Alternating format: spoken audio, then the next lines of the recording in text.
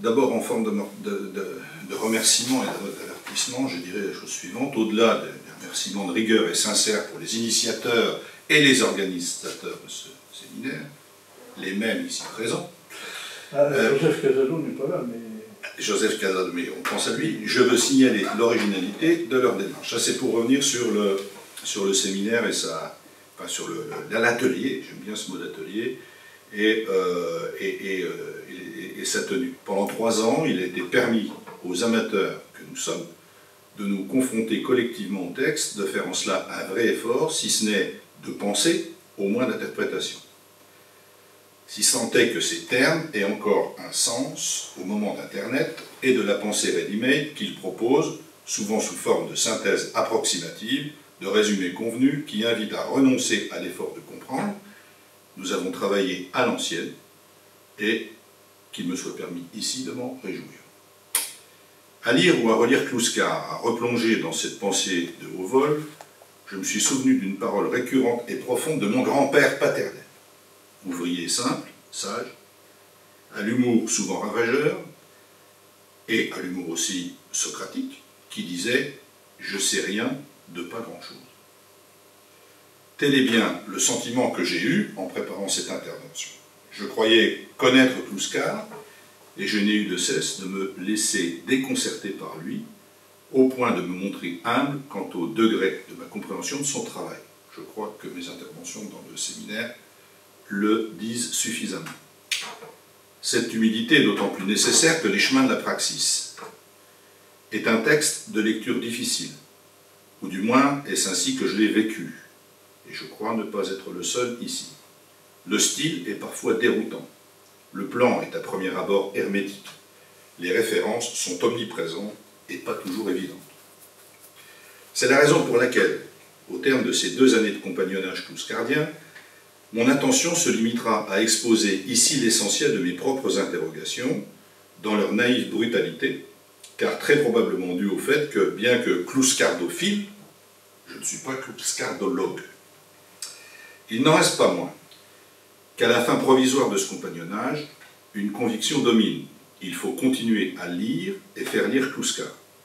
Son œuvre constitue un grand parcours philosophique, elle résonne des contradictions, des tourments, des dangers de notre époque. Je dis de notre époque car sur bien des points, Kluskar a contribué d'une manière irremplaçable et émancipatrice à éclairer le sens des transformations du capitalisme et à théoriser leurs conséquences. Il a donné ainsi tout son sens à la notion de Kampfplatz par laquelle Kant définissait la philosophie. Je vais commencer par quelques réflexions sur la place des chemins de la praxis dans l'œuvre de Klusker. Les chemins de la praxis est un livre à part, et cela pour deux raisons au moins.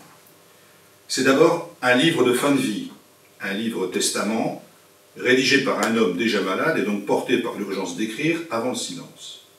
Mais cet homme n'écrit pas ses mémoires, il ne résume pas son œuvre. Non, il la fonde. Il y a chez Kluskar la reconnaissance première de la pertinence de la question ontologique, de la question de l'être. Qu'est-ce que l'être? Qu'est-ce qu'être? Pourquoi y a-t-il de l'être et pas rien Comme le dit Heidegger? Certes, toute pensée philosophique, toute pensée, philosophie, science, poésie, mais aussi pensée naturelle, vernaculaire, produit une ontologie au moins implicite, spontané, aurait dit Althusser, en répondant à la question qu'est-ce, qui est digne de se dire exister et pourquoi? Cela est de l'ordre du constat, même lorsque cette pensée se traduit dans le nihilisme et le refus de la question Dès son origine, la philosophie s'est fixée pour objet de trouver la réponse à cette question. Mais ce questionnement a abouti à une aporie.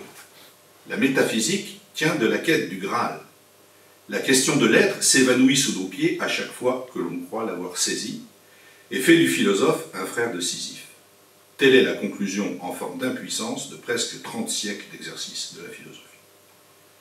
Que signifie alors le recours, je précise de la philosophie métaphysique, que signifie alors le, le retour d'un matérialiste, marxiste, progressiste comme Kluskar à cette vieille chimère? Nous cherchons une essence, comme Heidegger, Kluskar nous dit la philosophie a échoué parce qu'elle n'a pas compris. Pour Heidegger, la raison en est que la philosophie s'est égarée en route, a oublié l'être, a perdu le fil de la question en s'abandonnant aux délices et au piège du logos. Il faut donc pour lui revenir à la case départ, les présocrates. Pour Kluskar, la réponse est diamétralement opposée. Pour pouvoir penser la question de l'être, la pensée a dû passer par les chemins sinueux de l'histoire. Ce parcours semé d'embûches était nécessaire. Il ne s'agit peut-être pas de clore, mais au moins de le réorienter sur des fondations nouvelles et d'élaborer non une philosophie de l'être en tant qu'être, telle que Aristote la concevait, mais une philosophie de la praxis.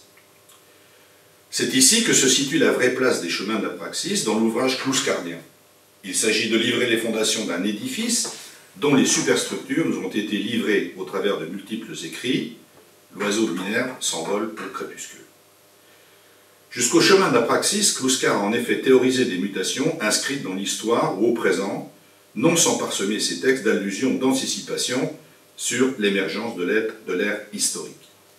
Mais ces allusions et ces anticipations ne peuvent suffire à donner à l'œuvre clouscardienne la fondation qu'elle mérite. Tout au plus annonce-t-elle un programme spécifique qui sera précisément celui des chemins de la praxis. Il faut désormais développer le mouvement de l'hominisation depuis le début et dans sa cohérence d'ensemble. Il écrit ainsi La philosophie de la praxis consiste à établir le commencement, le développement, l'achèvement de la praxis. Ce sont les trois moments organiques du procès de production il faut établir l'étymologie archaïque, le devenir historique, la modernité que nous vivons. Cette phrase résume à elle seule l'unité de l'entreprise philosophique d'une vie et de sa clôture dans les chemins de la praxis. Ainsi, les chemins de la praxis, moment de clôture, sont aussi en un certain sens le moment d'une systématisation. Une systématisation, je tiens à préciser, sans à proprement parler de système. Il s'agit plus d'une démarche. En quel sens peut-on parler ici de systématisation? Tout simplement parce que c'est la fondation d'une théorie globale et fondamentale de l'homme qui est développée sous la forme d'une anthropogénèse philosophique qui croise en permanence phylogénèse et ontogénèse, développement génétique de l'espèce et de la subjectivité. Telle est l'ambition du livre, et c'est donc plus précisément d'une systématisation en projet dont nous parlerons la systématisation est annoncée comme un programme à venir, dont Kluskar jette les bases et laisse à d'autres le soin de l'enrichissement. Il faut s'imprégner du sens profond de cette exigence de cohérence. L'enjeu, c'est le complet achèvement d'un parcours philosophique. En creux, il y a la lutte contre le néocantisme et ses implications politiques. En plein, il y a l'adhésion à ce qu'il a appelé le réalisme hegelien. En positif, il y a une ontologie qui prend la forme d'une phénoménologie qui part des origines de l'homme et restitue la logique immanente de l'hominisation. Ce que Kluskar exprime ainsi, il faut rendre compte de, je cite, l'immanentisme radical de la praxis, dont, je cite toujours, le pouvoir démiurgique s'avère total, la subjectivité, la pensée de réel, la causalité, la finalité, le temps, l'espace, etc. Fermez les guillemets. Quel est le statut de la, praxis chez, chez, et singulièrement le statut de la praxis dans euh, le, livre qui nous occupe, Les chemins de la praxis? Kluskar n'est évidemment pas le premier marxiste à se lancer dans l'entreprise d'une philosophie de la praxis. Il suffit de citer deux noms, Gramsci et Lukács, pour s'en convaincre. Concept devenu clé de la compréhension marxiste du monde, polysémique, à dimension ontologique et politique et opératoire à la fois, tantôt polémique, parfois instrument d'enjambement des contradictions réelles aussi, mais toujours concept à enjeu essentiel dans le continent marxiste. Notre propos n'est pas ici d'en restituer l'histoire. Dès le début des chemins de la praxis, Kluskar fait à son propos une remarque en forme d'avertissement. Attention à tout usage réducteur du concept de praxis. Cette observation vise les néo-kantiens, tout au moins ceux qui, les plus avancés, ont su s'intéresser à la question de la praxis comme à un thème d'importance philosophique, je pense, je pense, je pense qu'ils pensent à Piaget.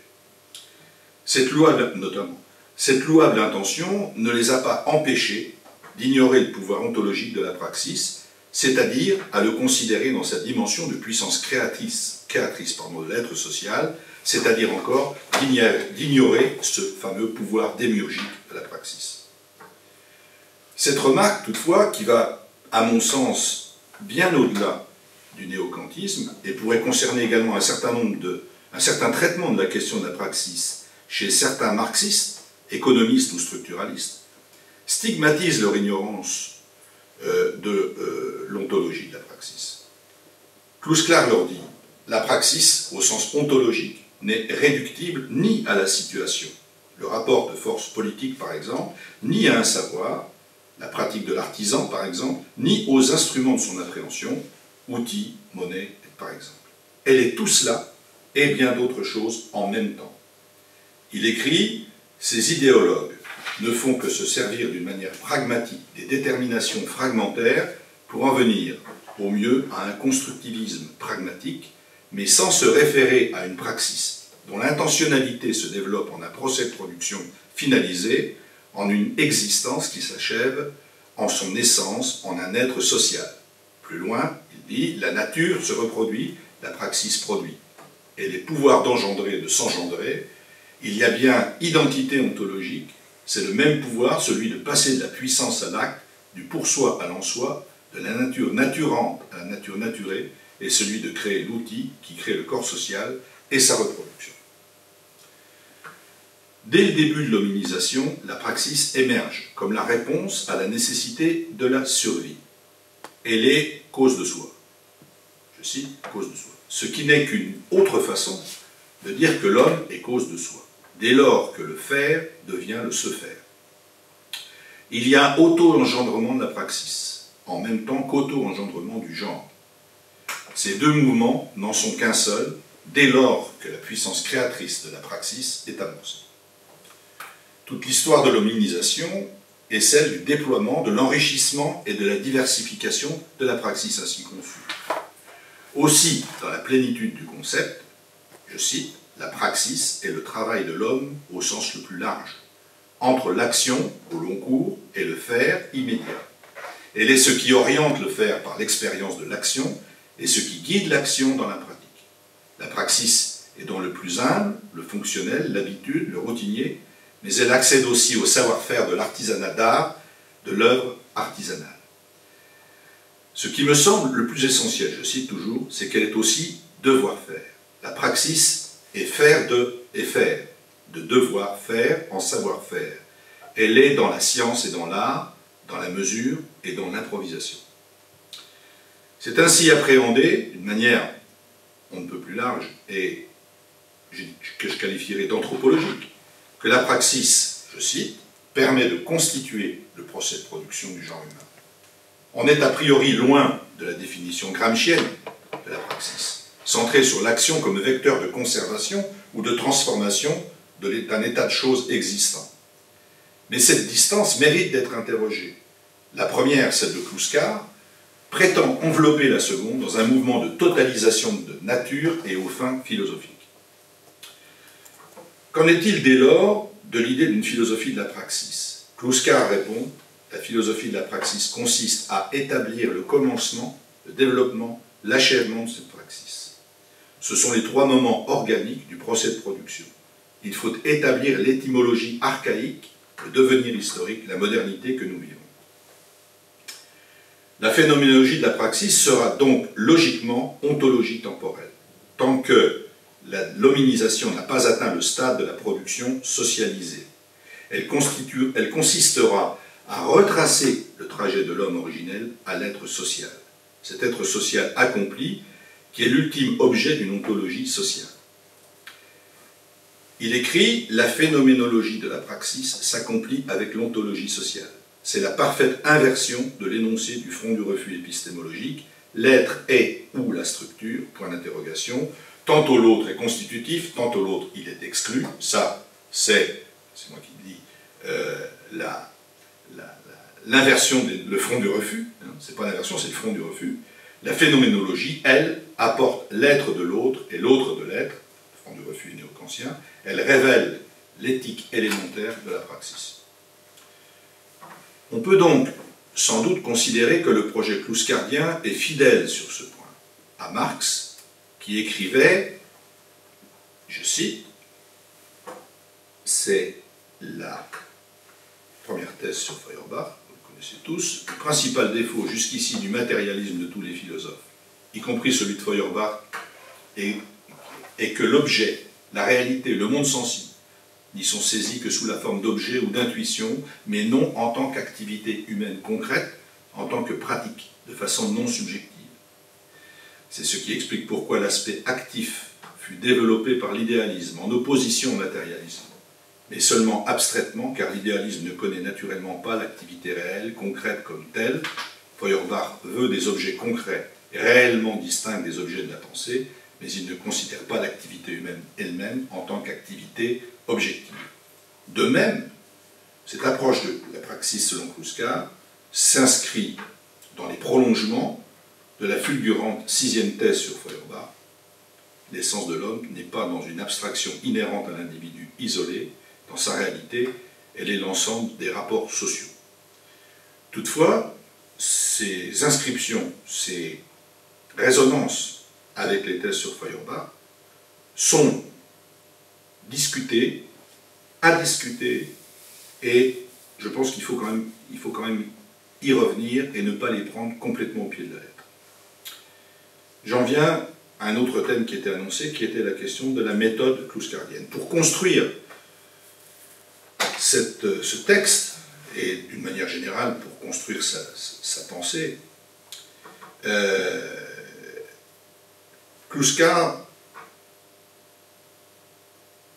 met en place un dispositif méthodologique qui est tout à fait essentiel pour le comprendre, à mon avis. Nous avons désormais mieux cerné le projet clouscardien et mieux circonscrit l'objet de la praxis tel qu'il faut l'entendre ici. Il faut maintenant en venir aux questions de méthode. C'est ici que vont intervenir l'essentiel de mes interrogations. Dans les chemins de la praxis, Kluskar est peu dissert sur sa méthode, question pourtant fondamentale puisqu'elle commande tout le système d'inférence. Il y consacre un seul passage dans le livre 1, dans deux sous-chapitres successifs et très importants. Intitulé Le procès de production d'un ensemble logico-historique et l'application du modèle historique dans l'histoire. Ces concepts sont déjà forgés bien avant les chemins de la praxis. On peut affirmer qu'ils sont déjà à l'œuvre dans l'être et le code. À ce propos, Kluskar souligne d'ailleurs la dette qu'il a souscrite auprès de Lucien Goldman, grand auteur marxiste de l'après-guerre, dont l'œuvre se situe comme la sienne aux confins du marxisme, de l'existentialisme et des prémices du structuralisme. Rappelons-nous ici que l'ennemi principal de Kluskar, dans les chemins de la praxis, c'est le néocantisme, qu'il traite comme une posture philosophico-politique et dont l'avatar contemporain s'appelle alors le structuralisme. Pour lui, le néocantisme rend toute connaissance véritable de l'être social impossible en interdisant la compréhension du rôle créateur de la praxis dans le processus d'hominisation. Face à la césure irréconciliable entre le logicisme et l'empirisme que consacre selon lui le néocantisme, Kluskar entreprend de réconcilier la logique et l'histoire, c'est la formule de lui. Il revendique une méthode qu'il qualifie à la fois de kantienne et non néo-kantienne et de hegelienne. Ce point est, à mon sens, tout à fait fondamental. Kluskar est de ceux qui donnent crédit à l'idée d'une logique de l'histoire. Si c'est la praxis qui est créatrice de l'aide sociale, alors c'est l'homme qui fait l'histoire. Point d'ancrage de l'humanisme revendiqué de Kluskar. Mais cette logique, cette nécessité, donc, est sans finalité. Rien n'est joué, car la nécessité historique est celle d'un processus agonistique, d'un combat, la lutte des classes. Ni nécessité absolue, ni déterminisme absolu ne font partie de son vocabulaire. Kluskar évolue donc sur une voie étroite entre l'impossibilité de la connaissance scellée dans le néocantisme et le finalisme résultant d'un déterminisme historique fermé. Sa méthode, il la nomme modèle logico-historique. Le mot méthode doit être pris ici au sens hegelien, C'est l'expression du mouvement effectif du réel en tant qu'il est saisi par la conscience pour soi et en restitue le sens véritable. C'est en ce sens qu'il parle de réalisme également. Il la décline, sa méthode, en trois figures. Le modèle, l'ensemble et le montage. Le modèle logico-historique, tel que je le comprends, c'est le cadre conceptuel, le cadre logique permettant de rendre compte des figures effectives du réel, des moments, selon le terme de Hegel. Ces deux extraits le montrent. Premier extrait, Un ensemble historique se construit selon une logique formelle. Il est en sa complétude et en sa... Alors, naturellement, il ne faut pas prendre ici le mot de logique formelle, les termes de logique formelle au sens où, euh, où euh, Badiou, par exemple, euh, traite des questions de la place de la logique formelle dans l'ontologie. Je reprends ma citation. Il est en sa complétude, en sa perfection, lorsqu'il détermine son commencement et sa fin, et alors les lois de son développement, du passage de son commencement à la fin. Ce passage se réalise selon une finalité et une causalité spécifiques à l'ensemble. C'est le cheminement de la causalité qui détermine le sens. Celui-ci n'est donc pas une donation de sens de l'extérieur, transcendance, mais autoproduction de l'ensemble, sens de l'ensemble. Ce procès est parfait lorsque s'accomplit la complétude de ce que devient concept d'ensemble, de ce qui devient, pardon, concept d'ensemble logico-historique, la négation radicale du commencement de l'affirmation originelle. L'ensemble, en sa perfection logique et dialectique, se constitue en tant qu'engendrement des contraires. Autre citation, le modèle d'ensemble logico-historique doit s'investir, se traduire dans le flux de l'histoire universelle. Il est créateur du sens en tant qu'identification de la logique, causalité, finalité et de la dialectique. Le passage de l'affirmation à la négation, l'engendrement réciproque des contraires. Le sens est la relation causale en tant que négation de l'affirmation, le procès de production et procès de négation. Fin de citation. Le concept d'ensemble logico-historique peut s'approcher désormais de cette façon.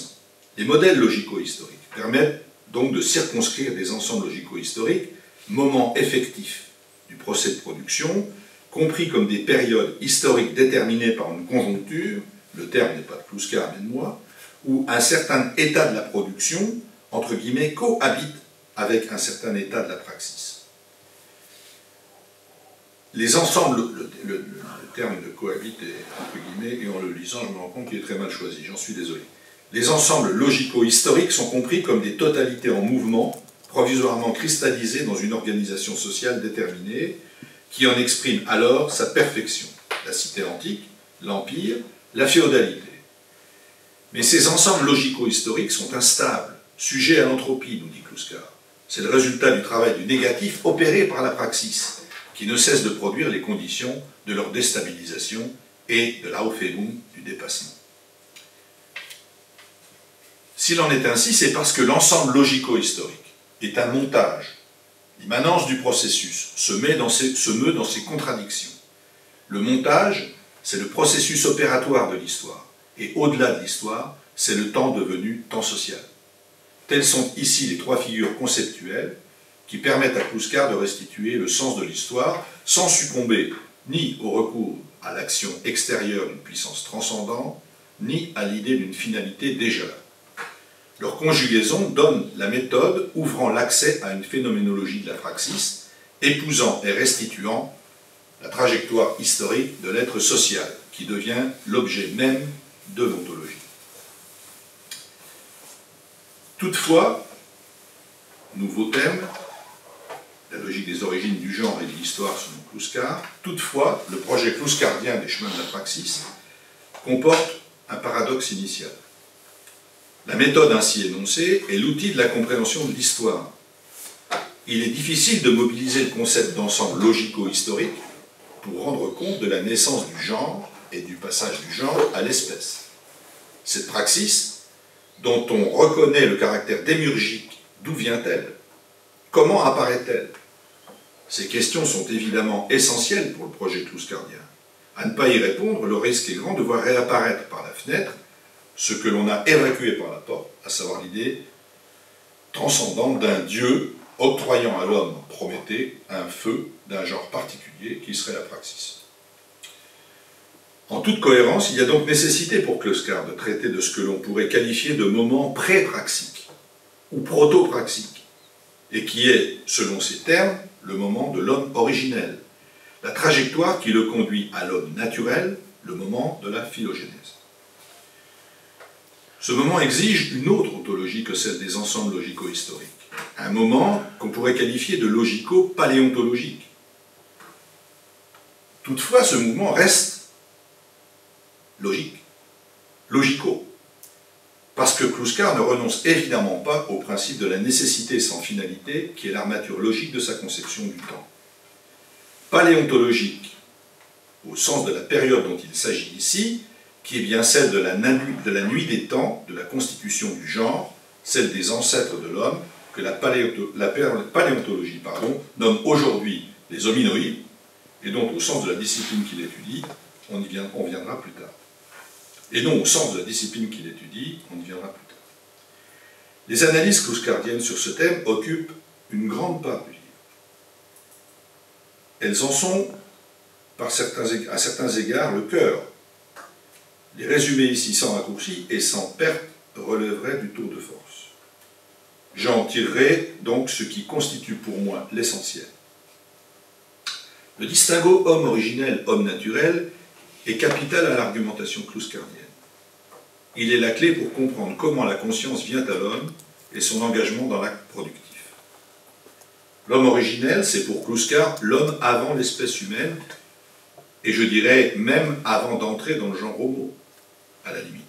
Cet homme originel dont il est question, Kluskar nous dit qu'il est déjà inscrit dans la logique du genre. Soit. Selon Kluskar, je cite, l'homme originel naît de la contingence. Fin de citation. Il vit dans la répétition, au rythme suivi des cycles physiques et biologiques. Il vit, ou plutôt il survit pour manger. Il vit pour mourir après avoir donné la vie. Il vit dans le devenir, mais n'a pas conscience du temps ni conscience a fortiori du devenir du devenir. Au demeurant, il n'a pas conscience de grand-chose. Il a le nez collé à la vitre de sa survie, qui n'a d'autre sens que la survie du genre. Il est privé d'individualité. Son seul appareillage mental est peut-être de l'ordre d'une forme initiale de cogito pré-réflexif. C'est pourtant, selon Kluskar, cet être faible et apeuré qui est, je cite, au commencement de la logique du genre. Mais la logique du genre va s'accomplir dans sa nécessité à partir d'un presque rien, d'un clinamène initial, d'une étincelle bien antérieure à l'évolution, à l'invention du feu, l'intentionnalité. Avec elle, cet animal d'un genre particulier, inscrit ontologiquement dans l'exigence de survie, va manifester une capacité générique décisive pour l'avenir du genre et l'entrée sur le chemin de l'espèce. La praxis n'est pas encore là L'intentionnalité est le point de départ de la capacité de la projection humaine. Elle est ce qui va lui permettre de connaître et de créer. Elle est ainsi le point initial, toujours recommencé, de la production. Mais d'où vient cette intentionnalité? N'est-elle pas elle-même un don du divin horloger? L'expression que Kluskar emploie, divin horloger, à plusieurs reprises. Kluskar répond dans les termes presque sartriens. L'intentionnalité, je cite, apparaît bien comme projet mais ce qui est capital pour le genre et notre connaissance, c'est de constater que l'intention originelle n'est qu'une réponse. Ce n'est pas l'humain qui de lui-même décide d'un projet. C'est confronté à une mise en question qu'il agit, il n'est d'intention que de réponse à une interrogation proposée par l'être. Ici, la référence sémantique à la phénoménologie husserlienne me semble patente, claire. Pour parler en phénoménologue, phénoménologue pardon, cette intuition fondatrice est le moment de la première ouverture à l'être, qui est déjà en même temps première négation de son immanence vécue.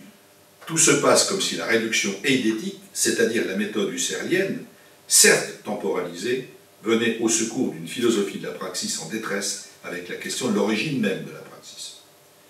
Cette référence phénoménologique d'inspiration husserlienne permet à Kluskar d'affirmer que l'angoisse est fondatrice, car elle est déjà connaissance L'angoisse est le mode de connaissance et de reconnaissance de cette impossible temporalité, dit-il. Mais l'angoisse est dépassée dans le moment de la conscience de la finitude, qui s'accompagne immédiatement de son contraire, l'intentionnalité. Elle est en ce sens, et dans la mesure où sa raison d'être initiale est d'assurer la survie, la force motrice du persévérer dans l'être, l'intentionnalité, je cite, universalise et finalise. Auparavant déjà, dans la même veine husserlienne temporalisée, il avait écrit L'être est immanence du réel et du rationnel, de sa manifestation et de sa représentation, de l'en-soi et du pour-soi. Et il poursuit L'être ne peut se reconnaître que par la crise de l'être, le dysfonctionnement de l'être seul est reconnaissance de l'être. L'être n'apparaît que par son essence, que par son absence, pardon, son manque, la différence. On éprouve l'être que dans la crise de l'être. La crise est une situation, un Dasein, je le cite toujours, hein, un être là qui peut se reproduire. Dès lors, tout s'enchaîne selon Kluskar, selon la logique de la nécessité sans finalité. L'homme originel ayant fait l'expérience de l'intentionnalité, il a basculé dans un processus à la fois logique et phénoménologique nouveau, le se faire du faire, l'autoproduction de l'homme par la production, qui donne le sens. Il est engagé dans le passage du stade de la contingence à celui de l'homme originel, à de celui de l'homme originel, dans le pas. Il est engagé dans le passage du stade de la contingence à celui du besoin, de l'homme originel à l'homme naturel. L'homme naturel ne naît pas de la contingence, il naît du besoin. Le besoin, c'est la contingence réfléchie, le premier moment de l'émergence de la créativité qui s'exprime dans le cogito pré-réflexif. Il est le commencement de sa phénoménologie. Ces considérations, qui sont au cœur de la, la phylogénèse telle que Pluskar la conçoit, me semblent poser deux types de questions, et qui sont des questions assez, potentiellement assez radicales. Je vous offre donc évidemment d'en débattre. Première question, allez lire. Je me dis qu'on peut exactement soutenir le contraire de ce que soutient Kluska. Je vais m'expliquer. Deuxièmement, loin de nous départager de l'animalité, ces considérations nous y renvoient. Alors, je vais développer cela parce que ça me semble un point important euh, et l'ancrage d'une prise de distance avec Plouskar de ma part, qui, n'est pas d'ailleurs euh, forcément totalement rédhibitoire, mais qui, mérite de discuter. J'ai parlé plus haut d'interrogation sur la logique plouscardienne, et j'en ai ici une. Elle ne tient pas à la référence phénoménologique. Après tout, euh, il n'y a peut-être pas de solution au problème soulevé à l'intérieur du savoir philosophique par la naissance de la praxis. Pas d'autre solution que celle-ci, en tout cas, compte tenu de l'état des concepts philosophiques mais elle tient à l'impasse que fait Kluskar sur les approches scientifiques de la filiation de l'homme, telles qu'on les connaît, qui sont développées par la paléontologie, la biologie moléculaire et évolutionniste, ou encore l'éthologie animale comparative. Il ne s'agit évidemment pas ici de reprocher à Kluskar de méconnaître certaines découvertes récentes et antérieures à son texte. Il ne s'agit pas non plus de faire taire les immenses points d'interrogation que comporte et soulève l'état de la recherche en paléontologie et les questionnements philosophiques qu'il suscite. Mais tout ce que je vous vais dire est soit déjà connu lorsque Kluskar écrit les chemins de soit de nature à en tirer questions, une question essentielle. Premier point, la différence homme-animal. Kluskar affirme la spécificité du genre humain au prix de la thèse d'une césure avec les autres animaux, au premier rang desquels les singes, de nature à la fois praxis et cognitive. C'est cette césure qui est de nature à la fois praxique et cognitive.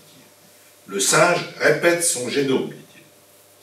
Pour soutenir cette thèse, qui est proche de celle de l'animal machine de Descartes, il faut passer outre la démonstration de facultés d'adaptation ou de résolution des problématiques pratiques ou encore d'empathie intra-spécifique allant bien au-delà de la simple sauvegarde de soi et de sa descendance, telle que en témoignent de nombreuses espèces.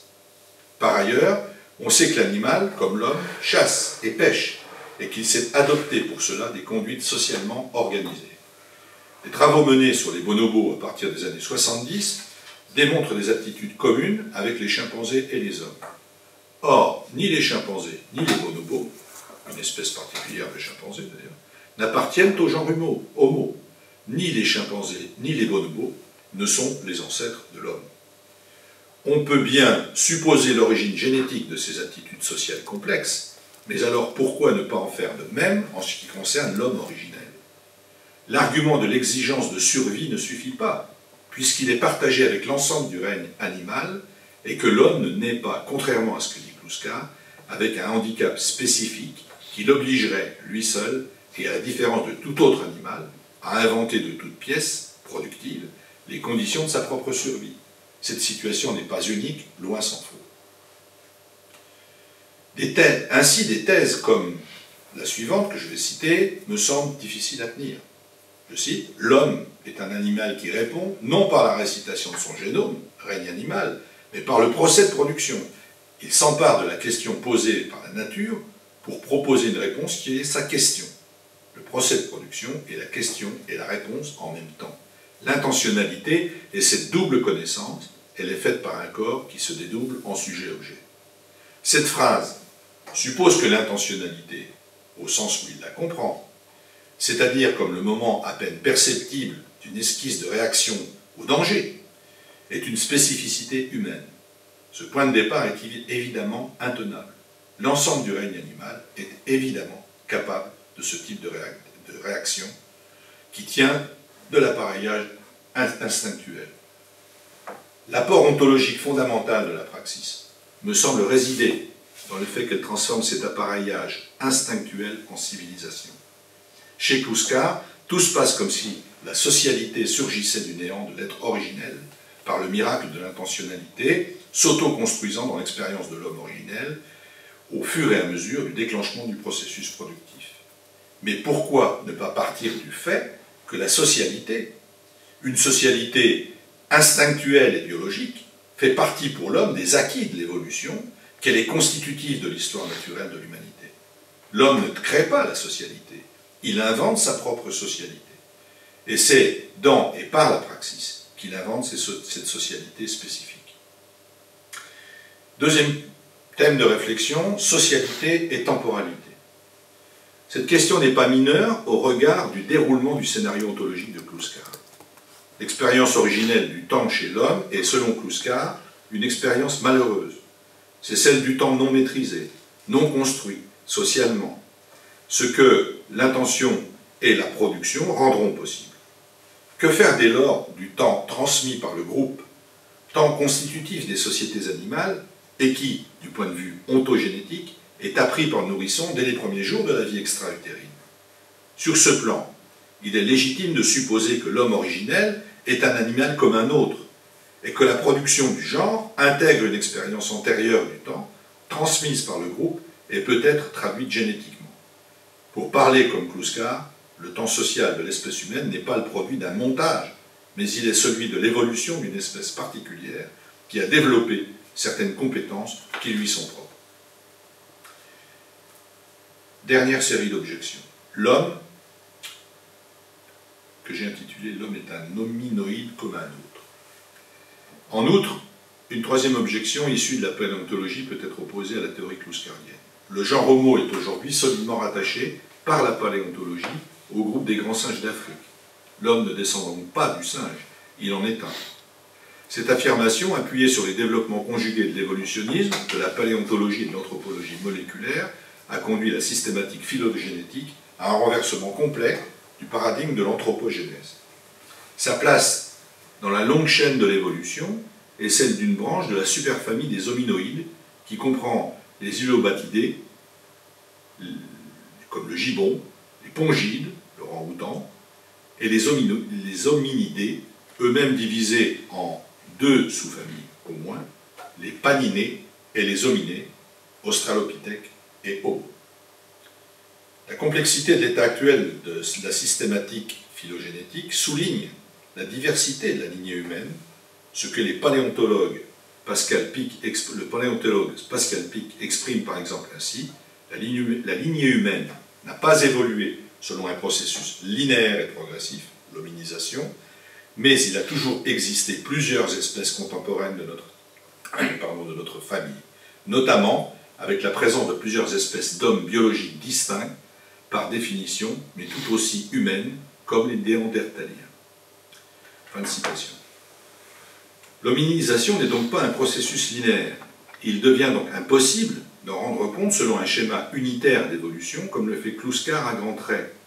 Au sein de la filiation humaine, une seule espèce a survécu à une multiplicité d'événements potentiellement ou réellement létaux. Il y a deux manières d'interpréter cette survie. Soit un dieu quelconque a voulu la récompenser, thèse de la transcendance, soit elle s'en est sortie toute seule en évoluant et en s'adaptant. Pour me résumer, je dirais que partir du distinguo homme originel, homme naturel, partie du distinguo homme originel, homme naturel, Kluskar nous livre un récit entièrement philosophique, c'est-à-dire non scientifique, de l'hominisation. Les catégories de diverses sources philosophiques sont mobilisées, réinterprétées et assemblées dans un récit certes cohérent, mais ô combien abstrait. L'homme originel, au sens tel que Kluskar le dépeint, n'a jamais existé. Il est une fiction nécessaire au dispositif logique klouskarien, mais sans rapport avec la réalité d'une socialité déjà là, dès le départ et en devenir, sans doute depuis l'origine de l'évolution, et en tout cas bien avant le genre, et qui va développer ses potentialités spécifiques à partir de la praxis communautaire, dont le moteur quasi exclusif est certes dans un premier temps la nécessité de survivre, mais assumée par le groupe, et non d'un sentiment d'existence fondé sur l'immanence présupposée du réel et du rationnel. Je voudrais maintenant aborder le traitement que Kluskar réserve à la période historique. C'est l'objet du livre 9. Ce texte, d'une densité exceptionnelle, il traite de 5000 ans d'histoire en quelques pages, par la force des choses, nécessiterait une analyse serrée de son contenu et donc de concepts aussi importants que ceux de rapports de parenté, par exemple, ou encore du rôle de la guerre dans l'hominisation tel que Kluskar les conçoit. Ce déjà trop long exposé ne le permet pas. Je concentrerai par conséquent mon propos sur la question qui me préoccupe essentiellement dans euh, cette euh, relecture personnelle de euh, l'ontologie de, la praxis, qui est la question de la logique. Logique qui sous-tend ses analyses, à lui, Tosca, et qui constitue le noyau rationnel de son ontologie historique. Rappelons au préalable que le livre 8 s'est achevé sur l'examen du devenir archaïque, jusqu'à la fin de l'émergence de la subjectivité et l'entrée dans la socialité, qui est le moment de l'accomplissement du corps sujet, préparant son dépassement dans la production de la subjectivité et de l'être social. Nous étions parvenus alors dans ce que l'on pourrait désigner comme une ontologie naturelle préalable à l'ontologie sociale. Avec le livre 9, la proto-histoire des temps archaïques, puis l'historicité proprement dite, entrent en scène. Il s'agit cette fois de reconstituer a posteriori les grandes mutations du monde sous l'effet des transformations du mode de production, et plus précisément les formes prises par ces mutations dans le champ pré-politique et politique. Il s'agit de rendre compte du passage de l'organisation tribale à l'âge des empires, via la cité antique, pour aboutir à la féodalité médiévale, prémisse de l'époque moderne et à l'installation de l'hégémonie bourgeoise. Il y a donc trois cycles distincts dont, Hegel, dont le hegelien Kluskar s'attache à montrer l'enchaînement logique. Je propose de nous concentrer sur la logique qui sous-tend ces analyses, je vous l'ai dit, et d'essayer de mettre en évidence le noyau rationnel de cette, cette analyse. S'interroger, s'interroger sur la logique de Kluskar, c'est explorer l'héritage hegelien de sa pensée. Cet héritage est explicitement revendiqué et sans doute plus encore dans les chemins de la praxis que dans d'autres textes. Il écrit quelque part qu'il s'agit de compléter Hegel. Il n'y a pas de matière, il n'y a pas matière à s'étonner de cette référence. Nombre de marxistes avant lui ont invoqué explicitement ou pas le caractère incontournable de l'héritage hegelien et singulièrement de l'héritage de la logique hegelienne. La littérature philosophique des années 70 est jalonnée de textes débattant, du sens profond de l'extraction de la logique de la langue mystique hegelienne par Marx. Ne perdons toutefois pas de vue que Marx fut à la fois élève et critique de Hegel, et que sa critique de Hegel, conduite en commun avec Engels bien sûr, est la base philosophique du matérialisme marxiste, et dont la critique du droit politique hegelien et l'idéologie allemande sont deux jalons essentiels. En quoi consiste fondamentalement l'héritage hegelien chez Kluskar La clé est sans doute dans la reprise à la lettre de la formule hegelienne tout le réel est rationnel et tout le rationnel est réel. Pour reprendre son vocabulaire, il l'élève au rang de véritable axiome de choix. Le sens de cette formule de Hegel a lui aussi été beaucoup débattu. il faut d'emblée amener une précision. Ni Hegel ni Kluskar ne sont naïfs au point de penser que l'idéal soit le réel. Ils savent bien que les idées des hommes atteignent rarement la pleine connaissance de leur propre situation. L'exposé de la rationalité du réel est l'affaire de la philosophie ou du savoir, et sa pleine conscience suppose l'accomplissement du processus réel. On le sait, une telle conception semble conduire à l'idée d'un savoir absolu, que certains interprètent comme savoir total, vérité définitive. Et de total à totalitaire, il n'y a qu'un point. C'est un contresens fréquent de la lecture d'Hegel, et Kluskar ne l'entend évidemment pas de cette manière. Le savoir absolu chez Hegel, ce n'est pas le savoir total, mais c'est le savoir le plus haut, celui où s'énonce l'unité de l'en-soi, de l'objet et du sujet, du pour-soi, de la conscience, dans le moment de la construction du savoir. L'objet du savoir absolu, c'est la Wirklichkeit, terme qui est le plus souvent et justement traduit par effectif, et qui signifie en même temps réel, véritable. Dans la mesure où le réel ne s'arrête jamais, ce savoir ne connaît pas de clé. Par conséquent, un être, une idée ne sont effectifs que lorsqu'ils sont actualisés, c'est-à-dire lorsqu'ils sont effectués l'ensemble du processus de leur maturation dialectique, lorsqu'ils sont arrivés au terme de leur histoire. Chez Hegel, effectivité est synonyme de rationalité accomplie. Au terme de l'itinéraire de l'effectuation, tout le rationnel est réel et tout le réel est rationnel. Mais cette rationalité accomplie est à son tour travaillée par le négatif.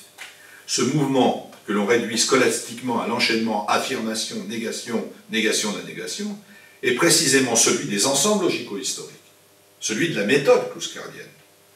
En les produisant, Kluskar est donc fidèle à sa promesse de justifier des raisons qui lui permettent d'affirmer cette formule, tout le réel est rationnel et tout le rationnel est réel. Il écrit, cela se démontre, point d'exclamation, il ne se contente pas de le dire, il le fait à sa manière. Nécessité sans finalité, rationalité portée par le pouvoir négatif, il n'en reste pas moins que la visée d'une totalité est présente chez Kluskar, comme chez Hegel. Sartre le comprend fort bien. Il écrit à propos de l'être et le code, dans ce qui je crois est son, son introduction à l'être et le code, je cite, il s'agit d'effectuer une totalisation véritable, véritable, rendant compte de tout, même de l'individuel, dans tous les domaines, de façon que ce qui s'est manifesté empiriquement comme hasard apparaisse rigoureusement conditionné et produit par la logique de production. L'histoire, c'est le déploiement de la négativité au sein de la totalité effective, qui produit le sens. Le seul projet légitime de la philosophie comme praxis est donc nécessairement un système du savoir, qui est dans son achèvement, certes toujours provisoire, savoir absolu, au sens d'exposer du mouvement d'accomplissement effectif du sens. C'est précisément ce que, ce que, à mon sens, Kluskar tente d'accomplir, non seulement dans les chemins de la praxis, mais dans tout le, tout le volet, entre guillemets, philosophique de son œuvre, qui est indétachable de son volet politique. Sur ce plan, Kluskar est tout entier un phénoménologue au sens hegelien. Dans cette optique, l'analyse du temps long de l'histoire conduit nécessairement à construire des modèles éclairés par des enchaînements d'une logique objective.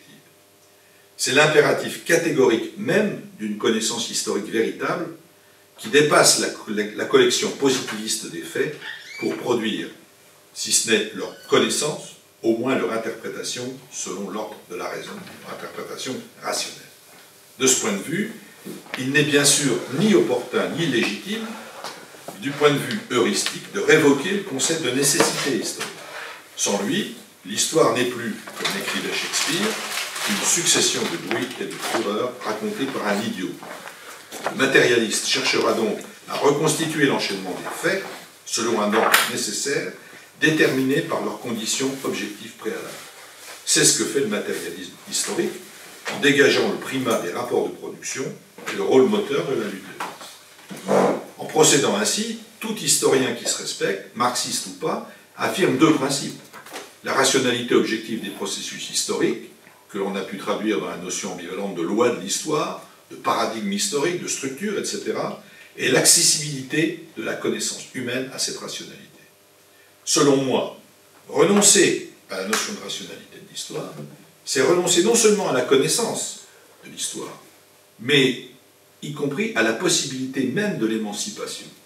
Les tenants de l'éternel retour, Nietzsche et autres, et de l'irrationalité essentielle de l'histoire, se rejoignent toujours à la fin dans la conservation de l'état des choses existantes. Mais en reconnaissant dans la praxis, entendue au sens précité au début de cet exposé, un pouvoir créateur, la production de l'être social, Kluska rompt avec Hegel, pour qui c'est l'esprit qui joue ce rôle. Mais renverse-t-il vraiment Hegel au sens du renversement qu'opère Marx? Je veux dire par là, va-t-il jusqu'au bout de ce renversement?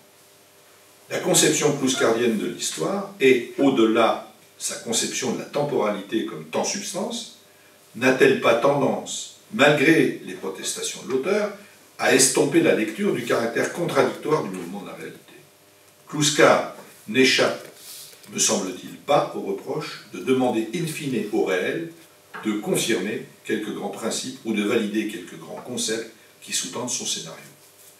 L'idée qu'il puisse y avoir de l'effectivité irrationnelle ou précisément non rationnelle, au sens hegelien, est étrangère à cette logique, et pour cause.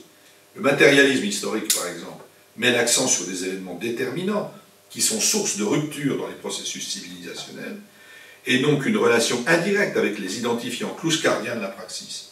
C'est le sens, par exemple, des révolutions technologiques ou scientifiques. Ces événements n'ont de place que subsidiaire et temporaire, comme objet promis au mieux à une réintégration dans le mouvement d'une effectivité où s'accomplit le sens, et non comme force motrice de cette effectivité. En voulant exprimer la logique profonde de l'histoire, fût sur le fondement de la praxis, la philosophie que propose Kouskar est finalement nécessitariste, bien que non finaliste.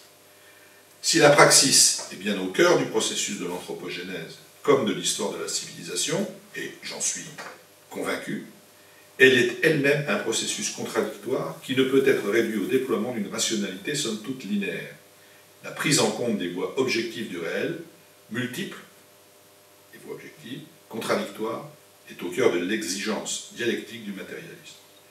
Dès lors, l'ambition d'une phénoménologie, prétendant restituer la trajectoire logique de la totalité et revendiquant par là le statut d'une ontologie remise sur ses pieds, est-il légitime?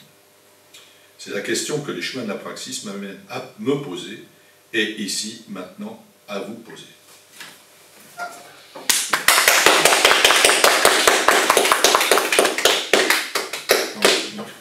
Oh. Bon, bah merci. Euh, merci à toi, Michel. Tout à fait. Tout à fait euh, roboratif. Il est roboratif, mais je, je, je, je très difficile de.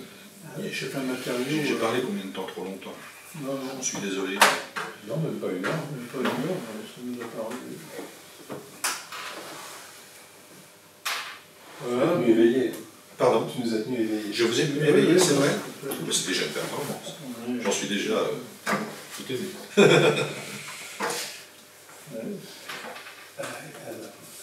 Donc, euh, Donc toi, tu penses qu'il n'y a pas de continuité. Il, y a, il a omis la continuité animale-homme. Ah oui, oui, ça, euh, Donc la socialité est déjà là, ça c'est le critère pour toi. bien sûr. mais est-ce que tu. Enfin, je sais pas, mais est-ce que le fait même que euh, cette coupure, finalement, quasi euh, euh, ontologique, soit. euh, arrive avec justement l'apparition enfin, de- du sujet d'objet, des dialectiques sujet-objet, qui a priori n'existe pas chez l'animal. Et que la temporalité qu'a développé euh, Foucault à travers notamment le temps-substance, qui lui permet justement euh, euh, d'aller euh, transformer euh, dans le futur euh, en s'appuyant sur le passé, euh, qui est euh, une forme de rétention du, passé, comme un montage anthropologique, euh, n'existant pas euh, chez l'animal, est-ce que euh, là, on n'est pas, si tu veux, dans un saut, euh, si on fait, on n'établit pas cette transition absolument radicale, si tu veux, entre, entre l'homme et, l'animal constitué entre autres par, ça, est-ce qu'on n'est pas dans une, sorte de, volontarisme, si tu veux, d'absolument connecter l'animal et l'animal et, l'homme Ça, c'est une, question enfin, qui, qui, quand même, euh, de toute façon, c'est vrai que Kouskar ne la pose pas vraiment, quoi, hein, la pose pas. Euh, il la pose pas vraiment, enfin, il donne quand même des jalons euh, qui, qui permettent de, penser qu'il qu'il la, pose. Donc, effectivement, on a tous ce processus-là qui est qui est absent chez l'animal. Bon, tu parlais de. effectivement, moi je me demande si finalement ce bouquin, c'est pas aussi un bouquin sur la pratique, mais c'est aussi sur le procès de production du procès de production. C'est-à-dire que c'est toute la partie logique euh, qu'il entend euh, du chapitre du livre 2, on va dire, du livre 8 ou 9, qu'il entend euh, suivre. Et qui tangente effectivement par le bas, je dirais, la pratique. Euh, est-ce que tout ce processus euh, est absolument absent euh, chez l'animal? C'est-à-dire tout le processus logique du procès de production, est absolument évacué de, l'animalité. Donc, enfin, je sais pas, vouloir créer une espèce de, lien euh, là où euh, manifestement il y a un saut euh, me, pose, pose, problème. bon, ne s'y est pas attardé, hein, mais effectivement, c'est quand même. C'est quand même. c'est quand même à, réfléchir aussi. Et, euh, de même, les, les, impasses, donc, euh, euh, tu, disais de, de, sur les avancées scientifiques de la, paléontologie. C'est-à-dire, bon, mais est-ce que. là, je, j'anticipe un peu sur la, sur la suite. Après, quand il dénonce en quelque sorte, et traduit fait la même chose, euh, l'identité euh, formelle comme étant euh, l'identité du sujet qui prononce sur le sujet comme objet de connaissance et qui montre que c'est une, une, sorte de,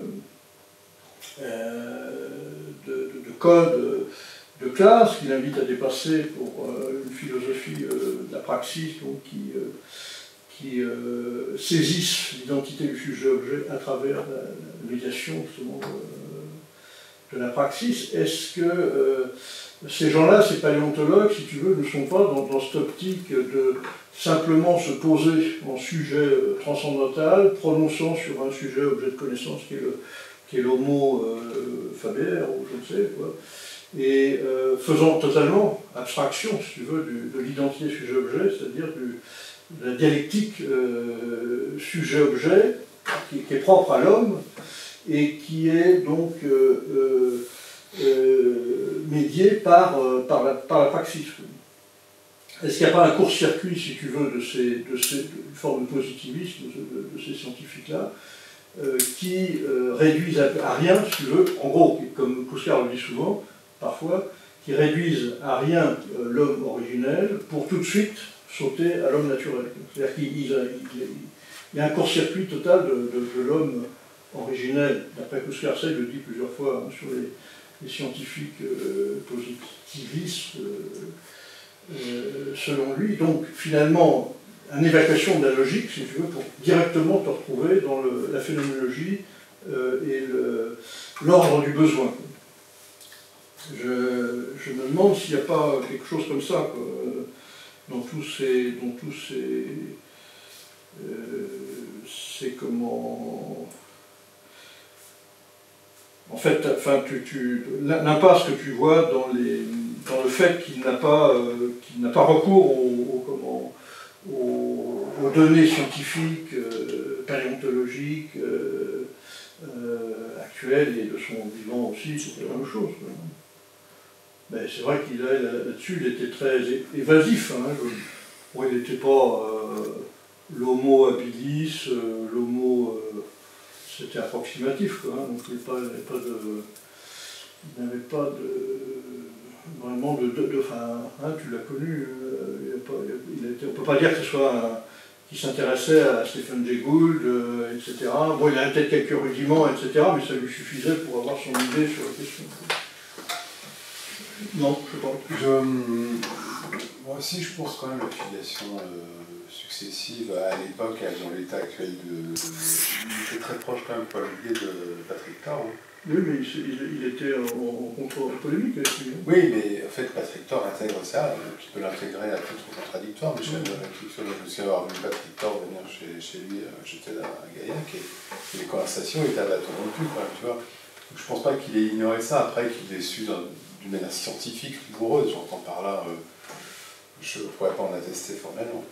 Mais ce que tu dis, ça pose un gros problème, hein, tout ce que tu dis, parce que c'est vrai que à partir du moment où on omet l'idée que la transmission d'un acquis génétique de l'animal à l'homme n'est pas intégrée par Michel, et donc qui revient à l'abeille et la ruche chez Marx, hein, dans une certaine mesure, et que d'autre part, euh, il y ait, euh, comment dire, euh, cette espèce de concept aussi qui est marxiste de, chez Piaget, je pense plutôt chez Vallon d'ailleurs, l'immaturation et l'excentration du sujet, tu sais, par le biais de l'impéritie, donc qui fait que le petit homme, 9 mois de gestation, tu le lâches dans la nature, il, meurt dans l'heure qui suit, enfin, je des conneries, 24 heures, on va dire. Je me pose la question de savoir, si, parce que ça paraît quand même assez probable que euh, la transmission d'un acquis génétique se fasse, euh, ne serait-ce que du singe, euh, du grand singe, en particulier de celui qui est le plus avancé dans l'état le plus proche, on va dire, d'hominisation. Donc c'est vrai qu'il y a un hiatus là. Bon, je pense pas que ce soit une coupure épistémologique, mais c'est une coupure grave en tout cas. Et la, question de savoir si, si donc ça infère en question comme un jeu de domino, que tout un tas de trucs puissent s'écrouler, contestable C'est la question que je me pose. Donc, euh, est-ce que, est que, la socialité déjà là euh, est une marque euh, suffisante de contradiction ou de réfutation de, de la base du raisonnement? J'entends par là parce que je repense à ce que, dans ce que tu dis, je pense au corbeau au Corvus Corax qui euh, prend une noix, euh, qui la laisse tomber, qui la casse, qui la ramasse, et donc dans une certaine mesure il a un rapport avec l'outil euh, qui est la pierre par défaut, et puis le bec avec la, trajectoire du lancer. Donc c'est vrai qu'on peut difficilement dire que, l'homme n'est pas hérité, je ne parle pas de, en l'occurrence des corvidés, mais qu'il n'est pas hérité d'une forme d'intelligence animale. Mais alors, qu'est-ce que qui manque et qu'est-ce que tu, à quoi tu palierais, comment tu y palierais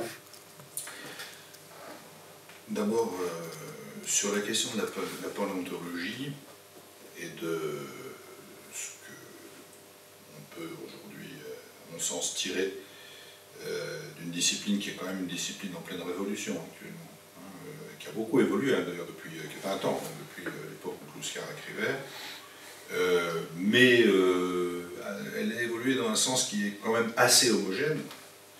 ce qu'on peut dire, c'est que la paléontologie se préoccupe autant de l'homme originel que de l'homme naturel.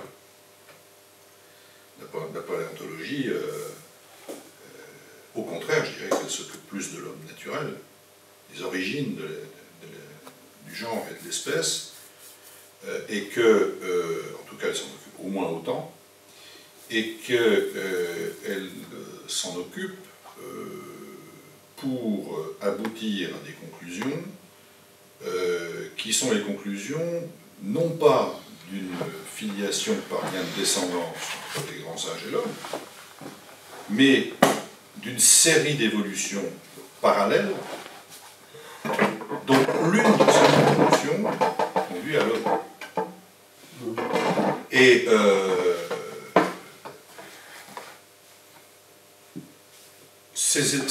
l'ensemble de ces évolutions parallèles,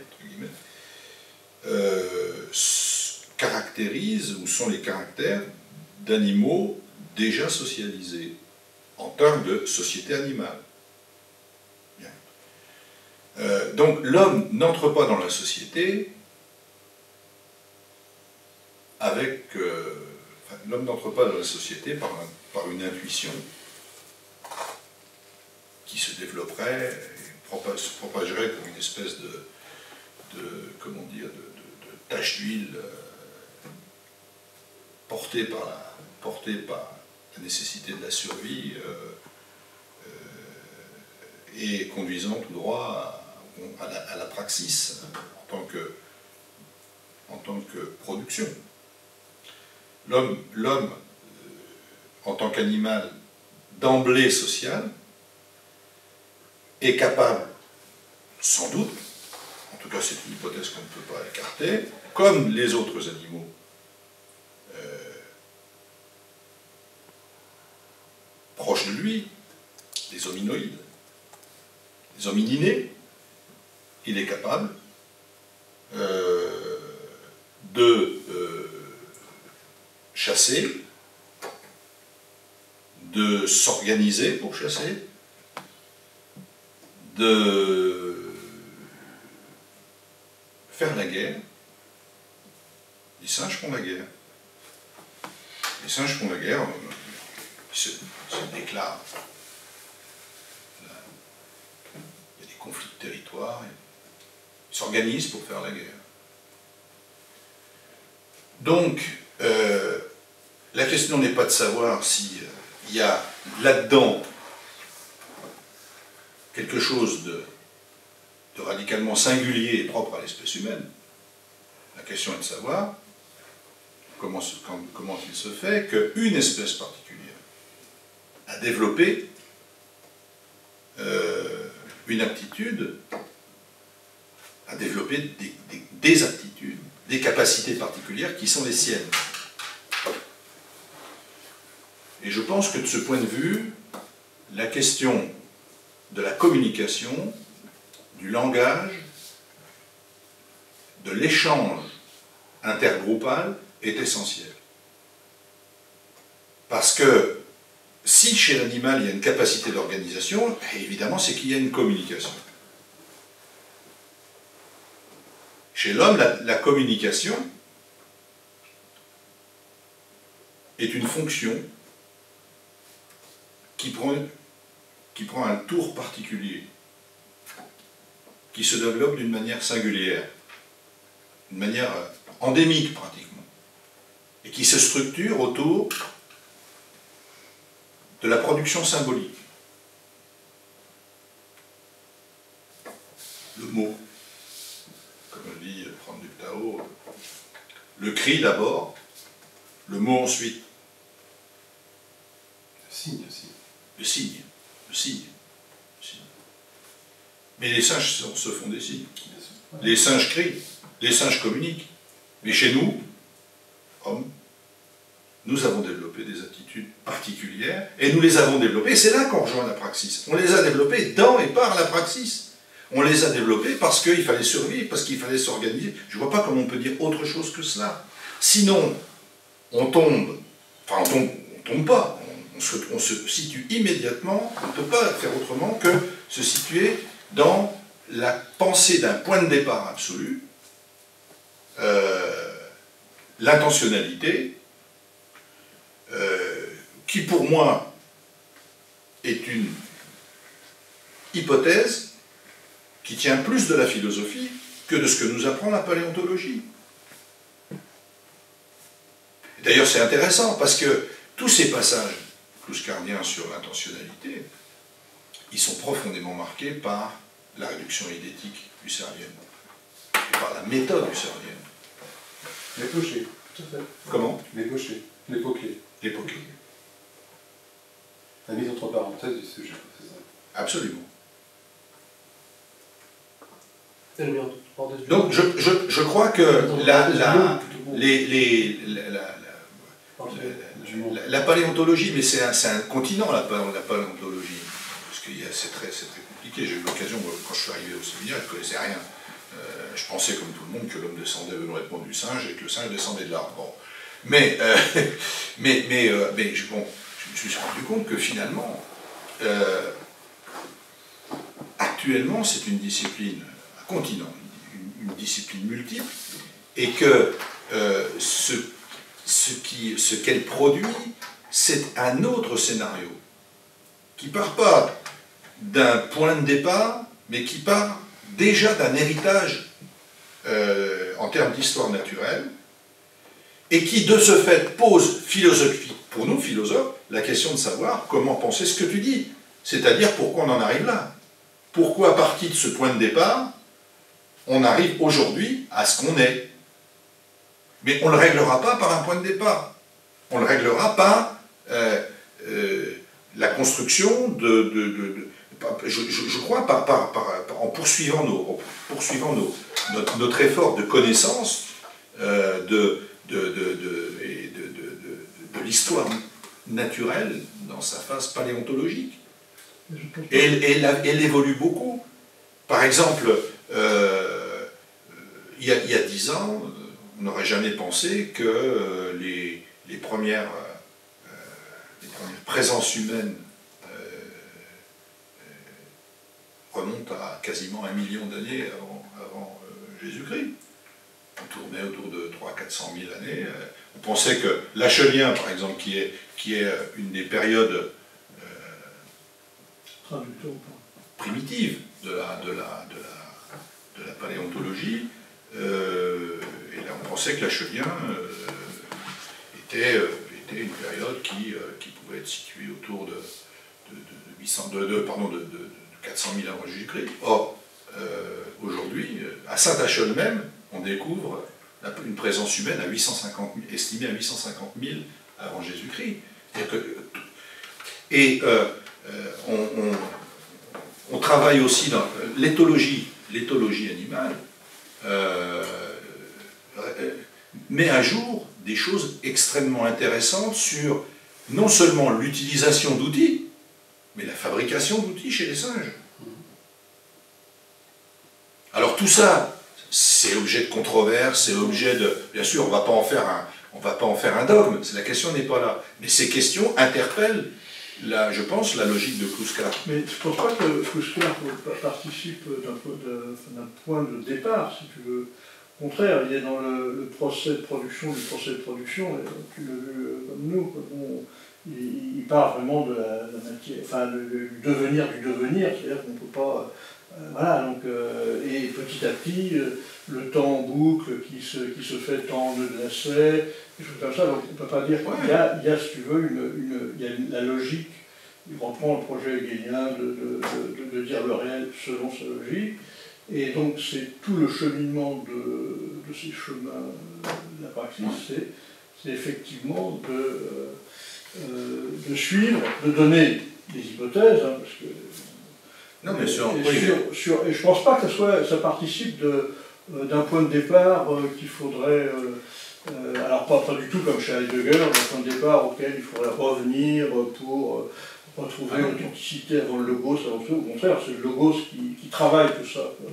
Donc euh, je ne pense pas qu'il s'agit là, euh, chez Kluskar, de revenir à un point de départ, au contraire, mais de, de, reprendre euh, le fil logique du, réel pour, par l'automouvement, arriver, donc, comme chez Hegel, donc, effectivement, à, à dérouler donc, euh, la phénoménologie euh, de, la praxis jusqu'à nous, en pointant effectivement les, étapes, euh, et les étapes qu'il pense, lui, problématiques, telles par exemple la bourgeoisie, hein, l'identité formelle, et donc effectivement, pour lui, ça serait l'accès, d'accéder à euh, la représentation de la praxis, c'est-à-dire que le, le, réel devienne rationnel, pas, on est dans le, dans le brouillard et, que pour donner euh, que le, rationnel, après, devienne réel, c'est-à-dire finalement euh, la planification et, le socialisme. Mais donc je, crois qu'il y, a quand même euh, je, pense que c'est vraiment le, fil logique qu'il faut suivre chez Puskar. Hein. On ne peut jamais le prendre à défaut là-dedans. Il, n'a jamais, si tu veux, d'approche positiviste dans laquelle il y aurait un, scientifique qui en surplomb euh, euh, prononcerait donc sur, sur, sur le, sujet comme objet de la connaissance. Donc il est toujours dans le dans le cheminement logique finalement, et il ne sent, je crois qu'il le, fait jusqu'au bout. C'est-à-dire qu'à aucun moment il est dans, ce... Et à chaque fois, il réfute, si tu veux, les positivistes qui fassent ce qu'ils pensaient être les positivistes, qui eux, d'après lui, hein, court-circuitent cet homme originel, donc court-circuite la logique, et se, retrouve tout de suite dans l'homme naturel. Euh, voilà, et quelque part, une, euh, comment on juge avec finalement les catégories d'une praxis euh, déjà constituée. Ce qui fait que, effectivement, lui, c'est pas ce qui se propose. Lui se propose de dérouler l'ensemble plutôt du côté euh, finalement en amont du procès de production, du procès de production du procès de production. Et euh, voilà, donc il est, euh, il, est plutôt là-dedans. Et, quand il voit effectivement qu'il y a une, un court-circuit sur, sur ce projet-là, il, le dénonce comme une approche positiviste qui vient à, qui vient à chanter le, à chanter le réel, finalement on, voit, souvent ça, il a, dit souvent.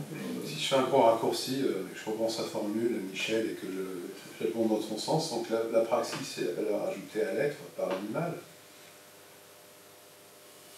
Je sais pas. Euh, si, tu vois, si on compacte ta pensée, c'est un peu ça, parce que ça revient au problème de la, du prédicat. Il n'arrive pas de trouver le prédicat, donc euh, il est dans l'antiprédicatif sur lequel il y a déjà des lettres et codes énoncés, même pas formulés comme ça, mais enfin comme Atlantide du concept, hein, notamment.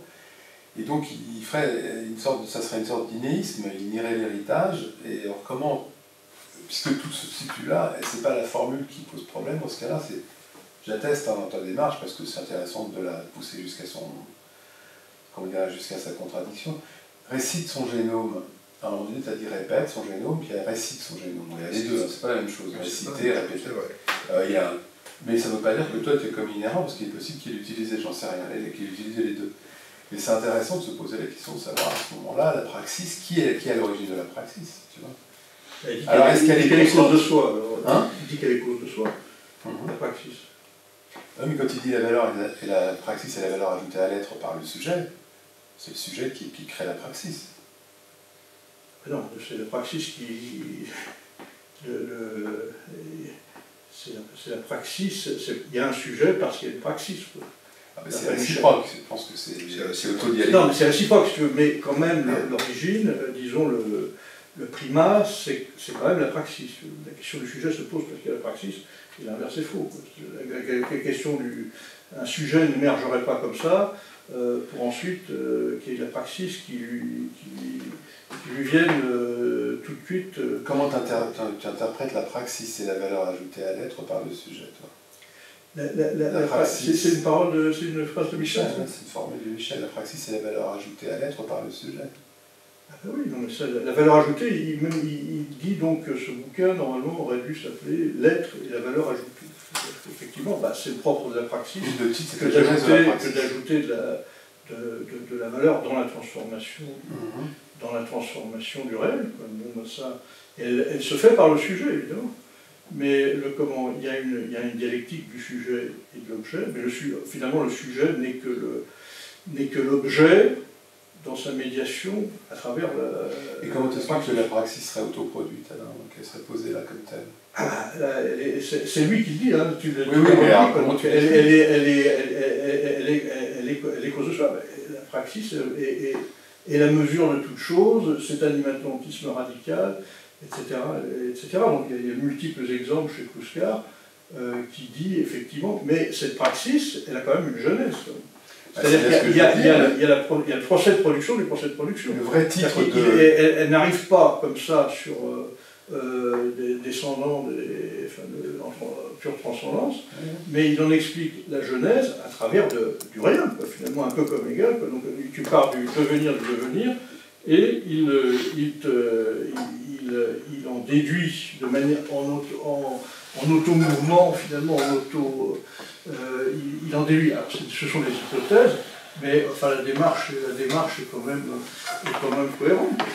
L'être le sujet, la praxis, c'était le premier titre. Le deuxième, c'était la jeunesse de la praxis. Pour être précis, philosophie. Et après, euh, non, non, mais moi je parle des états initiaux Du, manuscrit. J'ai tapé lettre, le sujet de la praxis, ensuite la jeunesse de la praxis. Donc c'est pas innocent. C'est lui, c'est la jeunesse de la praxis. La jeunesse de la praxis, c'est lui qui donnait ce titre initial. Mais avant ça, lettre, le sujet de la praxis. Tu vois, donc il y, a une sorte de, corrélation et de chronologie aussi, et c'est important de, le, rétablir quand même. Après, il ne reste pas moins que le problème est entier. Hein. Bah, le, sujet, le sujet est capital, et il le dit d'ailleurs, puisqu'il dit qu'effectivement, la praxis... être sujet praxis, c'est les trois termes de la dialectique de la phylogénèse. Dans, euh, Tout à fait. Euh, quand tu fais, euh, je sais plus, je crois que c'est sujet praxis corps sujet, c'est la dialectique de l'ontogénèse, si on peut un peu Donc, ce que tu dis, c'est vrai, mais je pense que chez Fouskar, c'est c'est montrer que le genre se constitue selon la praxis. Quoi. Je pense que c'est ça l'idée. Effectivement, la subjectivité, enfin pas la subjectivité, justement le sujet, le premier sujet naît de la praxis. C'est ça qu'il dit dans les premiers, enfin pas de ce que je me souviens, parce qu'on a tellement lu et relu que. Mm. J'avais une question à poser, parce que du coup je suis désolé, je n'ai pas assisté à ton exposé, je me suis ah embarqué ailleurs, donc euh, bravo quand même. Gentil. je, je, je, je, je, tu vois là, tu me fileras. Euh, non, mais simplement sur cette question, tu sais que quand on dit la praxis cause de soi, ça c'est dénoté en philosophie, cause de soi, c'est la scolastique, euh, enfin c'est le moment de Descartes, on cherche la cause de soi, la cause de soi. Est-ce que justement le fait de poser la praxis comme ça, euh, cause de soi, c'est pas, pas ça justement le positivisme? Et que, qui est justement le positivisme en quelque sorte que Marx aurait pu reprocher à Hegel dans l'idéologie allemande par exemple. C'est exactement ça un peu que, que Marx fait. J'ai raccroché euh, spontanément cette notion de cause de soi plus à Spinoza oui, qu'à euh, Descartes. Effectivement, Et euh, pour Spinoza, c'est une manière. Dieu est cause de soi la substance unique. Oui, mais sûr, mais Spinoza l'emprunte à Descartes. Il est, il est contre Descartes, mais il est du côté de Descartes, parce que Dieu, Dieu est le seul, euh, la seule chose qui donne euh, l'essence implique l'existence, donc il est Absolument. Voilà. C'est ça, c'est dans ce sens-là que je le dis. Mais c'est aussi le préalable à toute, à toute pensée moniste. Ah bah oui, c'est pour ça que le problème. Tout à fait. Et euh, la praxis, la praxis joue le rôle de Dieu euh, chez, chez Mais voilà, mais voilà, on revient souvent des débats des oui, Enfin, moi ça ne me choque pas, parce que la, la praxis c'est très Dieu quand même. ça va? Salut, vous allez bien? C'est une chose est de dire que Dieu est cause de soi, autre chose est cause de toute chose, autre chose est de dire que la praxis est cause de, de, de disons qu'il y, a quand même une dérive par rapport, à, par rapport, à, la, religion, c'est qu'il pose quand même la, praxis comme un immanentisme radical, puisque la religion, effectivement, est une transcendance. Donc on est, euh, on est euh, là pas dans le même registre. Donc, euh, il y a presque, dans, la manière de poser le rapport à l'animalité chez Kluskar, il y a presque quelque chose qui est de l'ordre du scalisme. C'est-à-dire, le scalisme, c'est toutes ces théories du 19e siècle qui, euh, qui pensaient euh, l'ordre animal comme un ordre hiérarchique avec au sommet l'homme. Mm. Euh, il y a un peu ça. Alors, je, pense que ce n'est pas du tout l'intention de Kluskar, mm. mais quelque part, ça résonne, à ça, ça, ça résonne avec ça, c'est-à-dire l'idée que l'homme est, est, autre chose qu'un animal. Il est, il est plus qu'un animal. Il est, voilà, il a, et peut-être c'est l'époque encore où, euh, où, les, marxistes, euh, euh, dont j'ai fait partie, dont je fais toujours partie plus ou moins, c'est une étiquette difficile à porter, mais c'est l'époque où, où, on est sur l'idée cartésienne que l'homme doit être maître et possesseur de la nature, que quelque part il y a une, on, est au bout de, on, est le couronnement de l'évolution quelque part et les autres sont là pour nous servir. Euh, on est en train de revenir profondément sur ce genre de choses. Les dominés,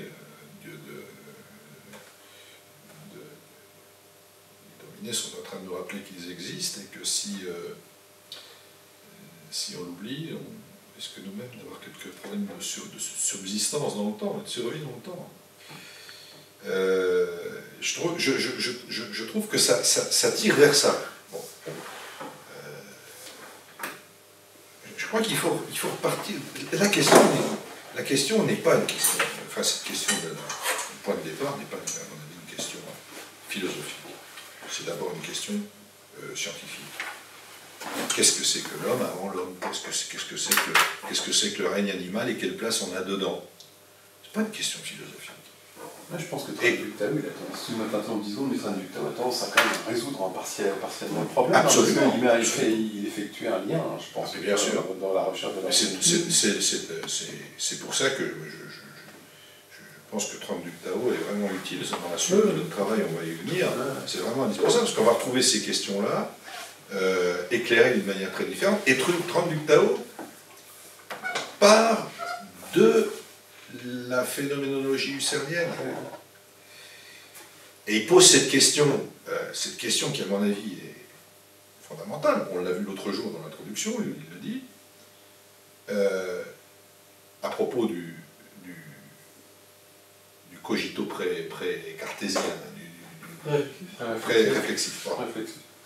Il dit, euh, finalement, Husserl a cherché à donner une consistance quelconque, à une certaine consistance à ce concept, il a cherché concrètement ce que ça pouvait vouloir dire, et il s'est cassé des dents sur le fait qu'à chaque fois qu'il arrivait à dire quelque chose, il ne faisait que décrire une qualité animale et pas une qualité spécifique à l'homme. Pardon, tu as dit c'était. Cogito pré-réflexif. Ça, ça, veut dire quoi? Ça veut dire que, ça veut dire que cette, euh, ce, ce, commence, ce commencement euh, dans l'intuition, euh, cette, cette hypothèse d'un cogito pré-réflexif qui serait déjà, déjà la pensée en train de se construire, euh, c'est une hypothèse philosophique, c'est pas une hypothèse, c'est pas autre chose. Euh, ce que j'entends par philosophique ici, une, hypothèse qui euh, a derrière la tête la construction d'une certaine position de l'homme, au moins dans l'ordre animal, si ce n'est dans l'ordre du monde, et pas du tout la, la, la, la, construction scientifique d'une réflexion sur cette position. Mais euh, Traducto montre aussi que, euh, en fait, C'est pour ça que, excusez-moi encore deux mots, c'est pour ça que je crois que Traducto a introduit une piste qui est aussi extrêmement importante, qu'il faut réfléchir, c'est la question du symbolique, c'est la question du signe, il commence par le signe. Euh, il, nous explique comment cet homme originel, si on veut, enfin, on n'emploie pas le terme, finalement, est amené à construire par nécessité le symbolique. Et qu'en construisant par nécessité le symbolique, comme une exigence de la praxis, de sa propre praxis animale, si je puis dire, entre guillemets, hein, eh bien, il enclenche un processus qui est un processus euh, tout, à fait, tout à fait original, spécifique, bon, euh, que, que, bon, voilà, euh, on n'a pas trouvé développé au même niveau chez d'autres animaux. C'est quand même troublant que certains animaux, le rat, certains singes, euh, développent une aptitude à calculer transmise par l'homme. C'est une question. Si vraiment c'était, ils étaient. Ils calculent. Ils sont capables de compter jusqu'à. Le, rat, il se sert d'une aptitude, aptitude alors, non, non symbolisée à calculer, pour sortir d'un piège. Mais je, pense que Traducteur aussi montre bien qu'on euh, est dans un monde euh, de signification, finalement, l'homme, et qu'on manipule finalement des significations, et que ces significations viennent profondément du, travail. Et comment euh, par exemple, quand il, quand il parle du faire, qu'est-ce que le faire? Le faire, c'est, euh, dit-il, euh, commencer, continuer, finir.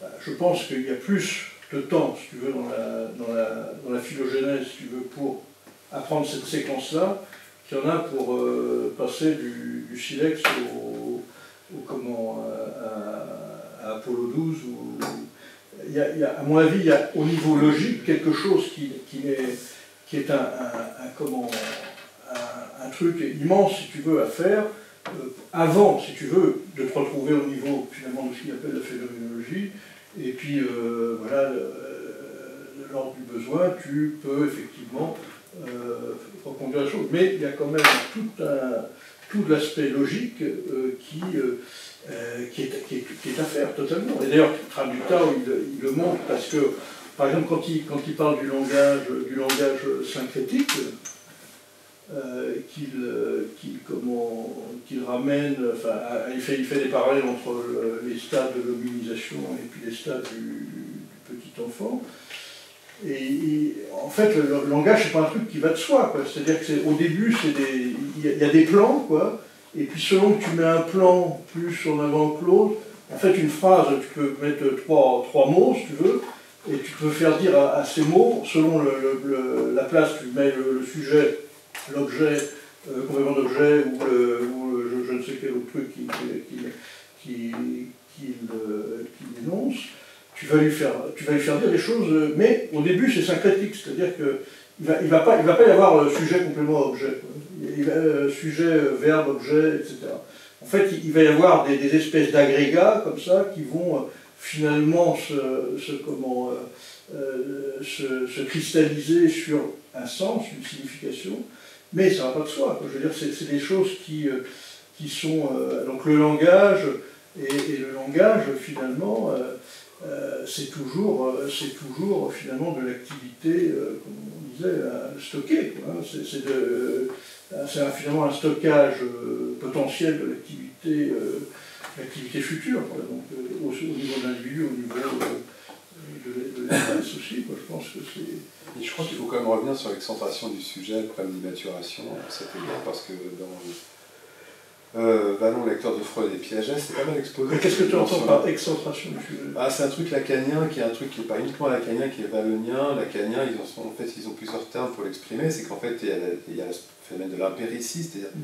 l'impossibilité pour le nourrisson d'être autonome ou qui est dans une dépendance totale à la mère dès sa naissance. Et ensuite, euh, donc c'est une forme d'immaturation, la naissance, de ce fait. Hein, bref. Et l'excentration du sujet fait que dans leur conception, il y a l'excentration et un autre terme, je ne me souviens plus tout à fait le, le terme exact, ils disent qu'il n'y a effectivement pas de, de, de, centration et pas au, centre pas au sens égaux, évidemment. Mais il faudrait l'explorer plus, hein, parce que moi je fais ça de mémoire, c'est quand même très ancien, il y a 15 ans ma lecture de euh, euh, Freud, non c'est Ballon, lecteur de Freud et Piaget, il y a tout un chapitre là-dessus, et c'est le bouquin euh, aux éditions sociales de Émile Jallet. Voilà, Émile Jallet. Et cette dimension-là, à raccorder avec Tran du Tao, euh, euh, sur ce dont tu parles à l'instant, tu vois, le langage syncrétique, le langage des signes, il y a aussi son concept de, de la phylogénèse qui répète, euh, l'ontogénèse qui, répète la phylogénèse, qui, qui, est à charge parce que Goldman avait pas mal critiqué cette conception-là, dans la mesure qu'il ne peut pas y avoir répétition de l'histoire par un fœtus de l'histoire de l'humanité. Pouchkar ah, aussi, il, critiquait ça. Oui, ouais, ça aussi, il était critiqué. Mais je pense qu'avec tous ces, ces, espèces de petites incises comme ça, on reconstruit une sorte d'écheveau comme ça qui permettrait de, de questionner plus, à, plus avant. Hein. une réponse, je ne m'aventure pas, évidemment. Mais, euh, et notamment, Traductao, encore une fois, avec son principe de, de répétition de la phylogénèse, l'ontogénèse, par l'autogénèse du moins, c'est intéressant malgré tout de voir l'évolution du fœtus euh, et de, de, certains prémices. Euh, et ce serait intéressant de voir l'évolution du fœtus dans une certaine mesure chez un, chez un chimpanzé, tu vois. Ça... Parce que pourquoi, dans ce cas, le chimpanzé naît complètement fini, si on peut dire, il peut cavaler, quoi, s'accrocher, machin, et la gestation de 9 mois d'un enfant euh, humain, enfin d'un être humain, excusez-moi, le, le, laisserait tomber comme une, enfin, tu vois, comme une chiffre molle, quoi, en fait. C'est étrange quand tu vois le parallèle, parce que finalement, il y en a un qui est plus abouti, parce qu'il de son génome, comme, tu, comme le dirait Michel, et que initialement, comme le poulain ou je ne sais quel animal dans la nature, alors que le, petit, petit homme, comme on dit, euh, il est complètement incompétent. Quoi. Comme si cet héritage, finalement, il n'existait pas. Enfin, il y a toi, tu te dis, c'est quand même étonnant. Si tu mets un nouveau-né chimpanzé à côté d'un bébé, qu'est-ce qui se passe quoi? Notre on parle de ça, il parle de la la tragédie de la femme dans le biologique, et puis la fétalisation, c'est-à-dire que le fait que tu te mettes debout euh, chez la femme a entraîné le, euh, fait que les femmes mouraient en couche de plus en plus. donc, il y a eu, d'ailleurs, il y a eu bonne femme pour, pour exemple, enfin, lui, il en déduit des tas de choses, hypothèses, hein, mais. Euh, oui, ça pas, ça infère pas sur la durée de la conception et de la gestation du, fœtus. C'est-à-dire que l'immaturation, euh, puisque antérieurement, il y a eu des, des, hominidés qui sont nés avec une femme qui était quadrupède, on va dire, et c'est pas parce que la bipédie qui a changé en bouleversant les donnes, on va dire démographiques, ce dont tu parles, c'est plus de la démographie aussi, hein, tu vois. Oui, ça, il y a une chute, une baisse de la natalité. Ouais, ça ne veut, pas dire qu'il y, a une méconception du fœtus. Non, non, non mais ce qu'il y a, c'est que, les femmes, les, femmes mourant, les, femmes mourant, les femmes mourant en couche quand elles, vont, quand elles allaient jusqu'au bout de leur, euh, leur gestation, celles qui finalement mettaient, enfin, accouchaient euh, de manière prématurée, euh, finalement tenaient mieux le coup. Et puis le fœtus, bon ben. Enfin, mais c'est la mutation entre les deux. Non, mais c'est la mutation entre les deux. C'est l'étroitesse du bassin qui fait que la sortie de l'enfant est ouais, rendue problématique elle n'est pas en quadripédie, elle devient en le temps que l'évolution se fasse. Voilà, voilà c'est ça. C'est ce que dit traducteur, oui. Oui, mais c'est pour ça que je te le dis, parce que je ne ferais que, dire ce que j'ai lu de, de traducteur. De ce point de vue-là, il y a quelque chose qui, m'avait toujours étonné, en fait. Euh, je ne sais pas si ça n'a jamais été résolu, mais euh, en fait, le fait que le bassin soit, soit étroit, ça fait que le, cerveau n'est particulièrement immature, en fait, c'est-à-dire euh, petit, en fait. Et, du coup, en fait, il est particulièrement adapté à l'imprégnation culturelle, en fait, parce que c'est un cerveau non fini qui va beaucoup plus s'imprégner de, l'environnement que d'un programme génétique qui viendrait du bas, si j'ose dire, en fait. mais c'est un peu... on peut se demander... comment dire Dans quelle mesure il y a une sorte peut-être de hasard en fait, parce qu'on aurait pu imaginer que le, le, bassin ne soit pas étroit alors, et du coup peut-être le, le, bébé aurait pu naître moins immature, il aurait peut-être été moins propice à, s'imprégner de culture, il aurait eu un cerveau euh, plus, plus mature peut-être. Ça c'est quelque chose qui est. Je ne sais pas si on peut résoudre la question, enfin comprendre vraiment le, le problème. Mais, mais, moi, moi, du point de vue de l'immaturation, j'ai l'impression qu'on peut le relativiser en fait, parce que la, plupart des animaux supérieurs, euh, des, mammifères, naissent immaturés, euh, immatures. C'est-à-dire que s'ils étaient sans leurs parents, ils, mourraient. Un bébé chimpanzé euh, qui serait seul, il, aurait à mon avis très, très peu de chances de survivre. Et, et, même des animaux moins, moins supérieurs même des, des, veaux, pareil, des veaux ils mourraient sûrement. Euh, mais ça c'est l'allaitement, c'est l'allaitement qui est nécessaire, c'est vrai. Mais après, il y a seulement son nom. Ouais. Mais il n'est pas très fort non plus pour se prémunir de prédateurs, même un veau, des choses comme ça, ou un, éléphanto. Euh. En, en paléontologie, la conformation du bassin est un indice du caractère terrestre ou euh, arboricole, si je puis dire, de, de, de c'est-à-dire que selon la forme du bassin, on sait s'il vivait dans les arbres, sur le sol ou sur les deux, parce qu'il y, a une longue période où on a, été capable, l'homme a été capable, tout au moins ses, figures originelles, il était capable de vivre sur, les deux. Et donc ça voudrait dire, si, si, euh, on suit ton, raisonnement, que euh, la station debout a libéré le cerveau, parce qu'on a, on a, ça a libéré l'évolution du cerveau, parce que la station debout, debout a permis de, de, la croissance du volume du cerveau, mais qu'en même temps la contrepartie aurait été l'allongement du délai de gestation euh, et peut-être pas l'allongement, le raccourcissement du délai de gestation, et donc la, la, la, la naissance prématurée de, de, de, de l'homme. C'est la question, c'est la question. Mais, ça, de l'homme. Tu vois, ce genre d'enchaînement-là, ce, sont, ce sont des enchaînements qui, pour moi, sont matérialisés.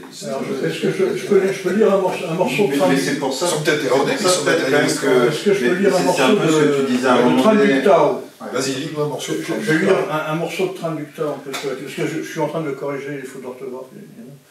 Donc, je, je, alors, par exemple, là, il dit on voit que la fétalisation de l'enfant humain, qui a joué certainement un rôle de premier plan dans l'hominisation, consistait en une sélection naturelle résultant directement de la tragédie biologique de la femme. L'adaptation consistera dans l'acquisition par l'appareil génital féminin d'un nouveau rythme de fonctionnement qui permettra d'expulser le fœtus normalement avant terme. Alors après, c'est ça, ça, qui est à mon avis le plus important encore, c'est qu'il fait la différence entre ce qu'il appelle dialectique historique et euh, la logique dialectique. Alors, qu'est-ce qu'il entend par là? Il dit bien évidemment, dans cette dialectique historique, c'est-à-dire la fétalisation, etc., comme dialectique biosociale de l'hominisation, nous devons distinguer soigneusement entre la logique dialectique du mouvement fondamental, à savoir le développement du, travail.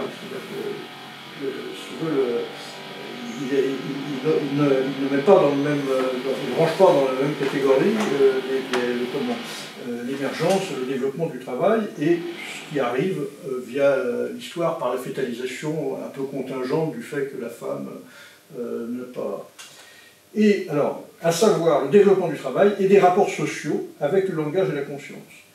Et d'autre part, alors là il fait une différence, la détermination purement historique, à savoir la tragédie biologique de la femme et la fétalisation de l'enfant qui a précipité le mouvement à la manière d'un catalyseur. C'est-à-dire qu'il a été là, mais pas comme, euh, comme origine, si tu veux, mais comme catalyseur finalement après. il n'est pas, euh, c'est pas lui qui est moteur de la logique dialectique il est clair que le développement cérébral en flèche de l'Homo faber, primigenius, découlait essentiellement non pas de la fétalisation, mais bien du développement de l'activité instrumentale qui, à la fin du stade abilien, tendait à s'élever à une forme qualitativement supérieure avec le passage de la production de l'instrument à la production de l'outil. Voilà, donc, il montre que effectivement cette, contingence finalement euh, due un peu, bah, tu te mets debout, bon, le truc, le bassin, ça intervient, mais ce n'est pas le moteur de ce qu'il appelle la, logique dialectique. Tu as une dialectique historique, finalement, une fétalisation, euh, tragédie biologique de la femme, qui est apportée un peu par la, contingence, finalement, mais qui il, en fait bien la différence entre le, la logique finalement, la logique de, euh, du procès de production, du, procès de production, finalement c'est un peu la, même chose. Cette, euh, logique dialectique euh, du mouvement fondamental, à savoir le développement du travail. Encore qu'on pourrait faire remarquer peut-être à Claude que la naissance euh, prématurée d'enfants suppose une organisation sociale particulière pour l'assumer collectivement, ah socialement. Et on parle. Et que, et que donc, euh, on est déjà là, dans, on n'est peut-être pas dans l'histoire, mais on est, dans, le, sociétal, dans, le, et, aussi dans l'histoire, parce que qui dit organisation sociale euh, dit, dit début de l'histoire, quoi. Enfin, je sais pas. Il va falloir faire des recherches sur le temps de gestation des successives euh, comment branches de, l'immunisation pour savoir si la gestation était de 9 mois, si elle était plus longue, plus courte, j'en sais rien. Finalement, ça pose ce problème. ça pose ce problème. Est-ce qu'ils le savent d'ailleurs, quelle était la durée de gestation d'un enfant il y a des, il y a, il y a des, il y a des, là-dessus, il y a des hypothèses, mais, mais surtout c'est l'éthologie comparative qui, c'est qu'est-ce qui se passe chez, des animaux qui ont suivi d'autres, qui ont une autre histoire naturelle. Qu'est-ce qui se passe? Pourquoi, pourquoi, pourquoi c'est plus long euh? Chez l'éléphant, c'est combien? C'est carrément hyper long. C'est 3 ans, je crois. Non, non. 3 ans? Il, y a, un animal où c'est ouais, 19 mois. Ouais, 21. 21 ouais. C'est lequel qui a 3 Il y en a un qui a 3 ans. 3 ans? Comment le... Emmanuel Macron. Il n'est pas sorti. Revenir sur ce que tu disais sur Tranutao, euh, il y a peut-être une, double dynamique en fait. Parce qu'effectivement, euh, c'est pas parce que le, fœtus est plus apte à la culture qu'il y a la culture, parce qu'il est plus apte à la culture, mais il y a déjà une culture qui est là. Mais ce que je pense, c'est qu'il y a quand même une double dynamique, c'est-à-dire que l'individu lui-même, en particulier l'adulte, est capable d'évoluer dans sa culture. Par exemple, si on prend les chimpanzés, ils ont beau apprendre à, avoir appris à casser des noisettes, le chimpanzé adulte, à la fin de sa vie, il cassera toujours des noisettes, et puis des générations plus tard, il cassera, toujours les, mêmes noisettes en fait. Alors que chez l'humain, euh, parce qu'il a un cerveau qui est plus apte à faire des synthèses, etc., euh, non seulement il va, pouvoir faire plein de choses en fait, parce que non seulement sa vie d'adulte va évoluer, il ne sera pas le même à 20 ans, à 30 ans, à 40 ans, il va continuer à pouvoir agir et à se faire une autre idée de lui-même et du monde, de ce qu'il sait faire.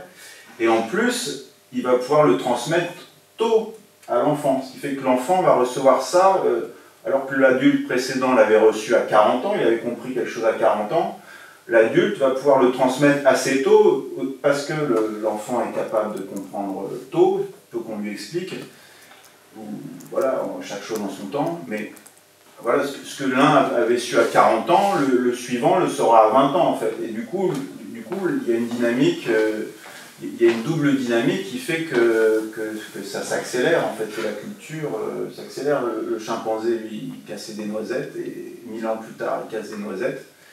Alors que euh, un, humain, et surtout les, les, les, sapiens, ça, va beaucoup plus vite. c'est vrai qu'il y a une, je suis en train d'observer qu'il y a une mutation dans le, dans le domaine du, frappé de, clavier, c'est qu'ils sont, il y a plein qui sont ambidextres. Hein. Ah oui, avec les pouces, vous avez remarqué ça C'est hallucinant. Hallucinant. Tu les vois, tu les vois. C'est une mutation radicale, je pense, euh, qu'il faudra noter dans le domaine anthropologie. En tout cas, ça pose des problèmes, enfin des problèmes, ce dont tu parles, euh, importants.